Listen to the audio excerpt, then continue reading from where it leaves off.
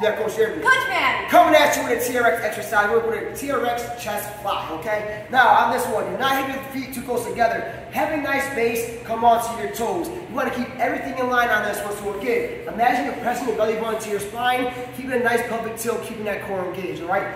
Your palms are facing in, so you have your neutral grip with the TRX straps. As you come out, gonna have a soft elbow, and as you come back in, as you hug in, you're gonna bring your palms in, full extension of the arms. So on this one, imagine giving a bear hug to somebody. So you want your arms to come away from the body, soft elbows, and then come in, extend out. Really focus on that blood flow to the mid part of your pecs, all right? So you're gonna open up the pecs with that stretch and come back in with that contraction, squeezing your pecs together as you meet in the middle. Walk your feet in deeper makes it more intense intense. Again, coming more upright makes it easier. Now, if you're not working with that fly, it's too aggressive on the shoulder, let's just look at that classic TRX push-up.